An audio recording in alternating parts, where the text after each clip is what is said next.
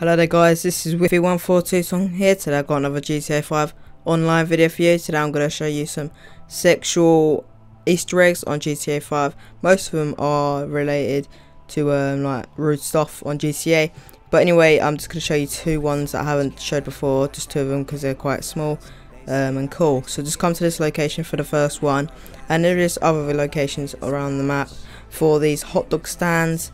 Um, as you can see, these kind of van things um, trailers and just just go round the back and um, you go to the side of it kind of thing. Then uh, you just walk through this door here um, to get to this uh, little funny easter egg I need to show you. So um, if you go over to the grill yeah guys stay out my grill um, uh, you as you can see it's got a sausage on there um, stuff inviting me to your party but anyway he's stalking me uh, yeah, so as you see, it's got a sausage or a hot dog, whatever you want to call it, and um, it's got two burgers beside it, which is the meat, which is obviously the balls, and two buns, which we knows what that is, guys. We know what the buns are, really. I don't need to explain it to you.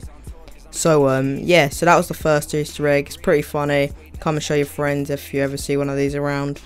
Um, but anyway, next one is like a butt cheek kind of thing um, at this shop. Uh, so this is the location for it right there. Um, in the city this one.